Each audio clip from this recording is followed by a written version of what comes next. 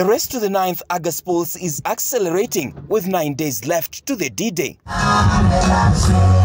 Azimio flag bearer Raila Odinga and his running mate Martha Karua settling for Suswa grounds in Narok to sell their agenda.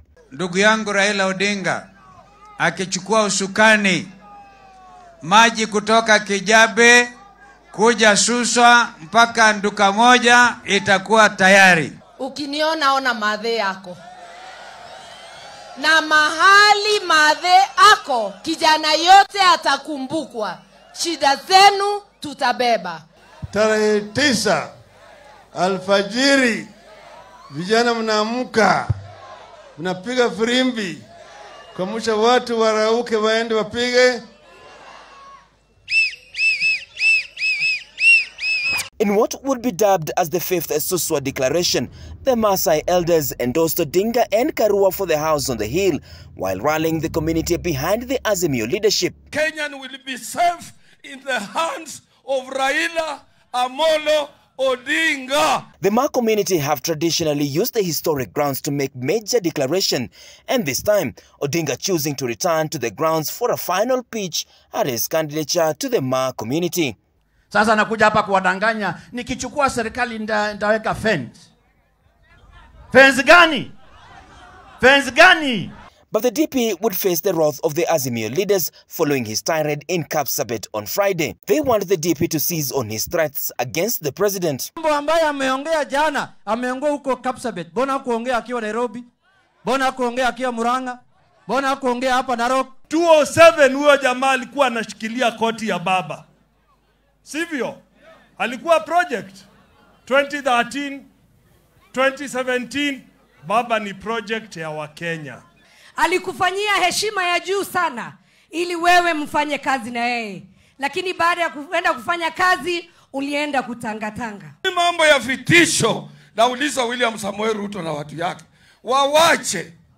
Kama yeye huwa anapanga mipango ya vifo ya watu wengine na watoto ya watu wengine, Uhuru hawezi kupanga sasa kwa ajili Uhuru anaondoka anaenda nje. Azimio is claiming that the DP has sensed defeat and as such has resulted to threats as a way of consoling himself. Wiper leader Kalonzo Musyoka also took the Deputy President William Ruto head on, asking the DP to keep his name out of his mouth and instead focus on selling his agenda. Jana aliongea kwa hasira sana upande wa Kapsabet, karibu anafanya incitement, rais ambaye ni wake Uhuru Kenyatta, anamwambia leave me alone.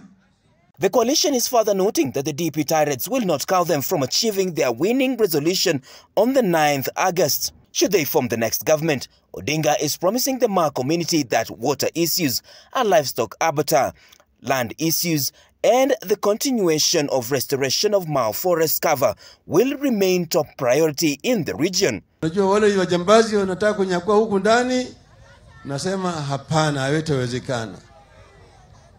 Kuna ile kule upande ya Amboseli vile vile. On her part, running mate Martha Karua argued that after traversing through the country, Kenyans have chosen to solidly rally behind them since the agenda is about unity. Angalia hao wengine, ndoto zao ni kunyakua na wizi peke yake. Mimi nawaomba zote tusirudi nyuma na tueneze hii mambo ya kwamba rais wa Kenya ndiyo twende mbele ni Raila Amolo Odinga. With only seven days remaining before the official campaign period to come to a conclusion, the Azimio team is insisting that the solution to Kenya's problem lies with them. Tomorrow, the campaigns are expected in Uasin Gishu and Nandi counties. Martin Opio, K24 TV, Suswa Grounds, Narok County.